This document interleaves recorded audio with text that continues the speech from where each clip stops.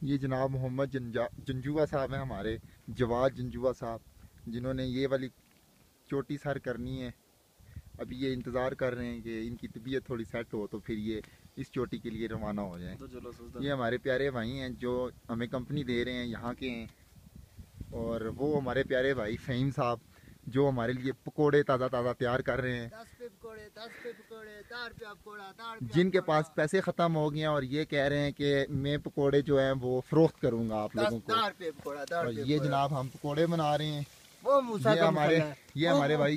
वो मूसा ये आपको बता रहे हैं वो मूसा का मसला है जो हमने बड़ी कोशिश की है दूसरी दफ़ा भी लेकिन हम नाकाम रहे हैं। हमारे तीन भाई जो हैं वो गए हुए हैं जिनका हमें कोई पता नहीं है कोई रबता नहीं है क्योंकि यहाँ पर सिग्नल मोबाइल्स के बिल्कुल भी नहीं आते, कोई नेटवर्क नहीं चलता। सुना है यहाँ पर कोई पीटीसीएल की सिम चलती है। ये प्यारे भाई भी हमारे इस्लामाबाद से आए हुए हैं और इनमें से भी कोई ऊपर गए हैं और कोई यहीं पे रुके हुए हैं।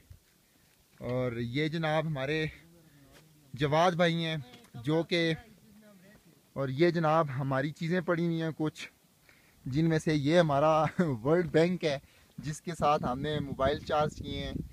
कुछ इधर मिर्चें पड़ी हुई हैं, ये हमने शिकंजबीन बनाई है। और ये जवाद साहब हैं, जो इस वक्त बहुत मायूस होकर बैठे हुए हैं कि मैं इस चोटी पर नहीं जा सका। और ये स्टिक इन्होंने उठाई हुई है, ये बहुत हेल्प करती है यहाँ पर आने के लिए। और ये चने हमने खाए थे, जो हम सुबह से यहाँ पर चबा रहे हैं और इनके सहारे हम जी रहे हैं। ये जनाब सारे आपको सीन नज़र आ रहा है। और सुनने में आया कि जवाब साहब कोई लड़कियों का ज़िक्र कर रहे हैं, कह रहे हैं, पिछली दफ़ा लाहौर की कोई लड़कियाँ आई थी। जी जवाब साहब, कोई लाहौर की लड़कियाँ आई थी पिछली दफ़ा? और ये कह रहे हैं जी कि हमारी फटी पड़ी हुई है, हम बात नहीं करना चाहते आपसे। जिस कमरे में हमने रात को स्टे किया, वो कमरा हमारा जनाब ये है। और ये कुछ फ़हीम साहब कह रहे हैं कि हमने पकोड़े तैयार किए हैं। जिनमें से मैं एक ट्राई करता हूँ और आपके साथ शेयर करता हूँ कि ये कैसे बने हैं। ये जनाब ये फ़हीम साहब जो कि एक शापर में से आलू निकाल रहे हैं जो हमने नीचे गंदे पानी से धोया है। और ये हमने बेसन बनाया हुआ है। जिस कमरे में हमने रहाइश रखी थी वो कमरा ये है। पता नहीं अब आपको इसमें अंदर नज़र आएगा नहीं आएगा। ये इस बेड पे हम रात को हम रोक रहे हैं। इस जगह पे। ये सारा वहाँ पर चूल्हा था जिसमें हमने आग लाई थी, नज़र नहीं आ रहा। और कुछ चीज़ें हमने यहाँ रखी थी। ये इसका आउटडोर है, जहाँ से बहुत प्यारा ही व्यू आपको नज़र आता है। जो ही आप बाहर निकलें। ये, यहाँ नीचे एक चश्मा है जहाँ से हम पानी ले रहे हैं।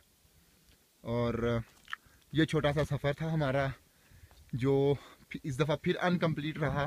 फ़हीम साहब बहुत खुश हैं पकौड़े बनाया कर। पता नहीं आप कुछ कहना चाहेंगे फ़हीम साहब?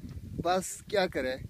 नसीब सारे लिखे रब ने चले। ये कह रहे हैं जी हमारे नसीब पकौड़ों के साथ लिखे हुए हैं जी। और हम जब ऊपर आए हैं वो सारा रास्ता आपको मैं बताता हूँ जहाँ से हम ऊपर आए हैं। ये वो हम नीचे से ये वाली सारा रास्ता जो है ये हम तय करके हैं जिसकी वजह से जवाब साहब जो हैं उनकी हालत ये हुई है। प्याज खाने में मजबूर। और ये प्याज खाने पे मजबूर। कहते हैं प्याज खाएँ तो यहाँ की और ये हमारे प्यारे भाई जो हमें यहाँ पे कंपनी दे रहे हैं। वे पकौड़ा तैयार करें जी। और वो हमारे तीन भाई जो हैं वो इस चोटी को सर करने गए हैं। देखें आप कितने बजे वापस आते हैं हम उनका इंतज़ार कर रहे हैं। ठीक है? गुजारा करेंगे।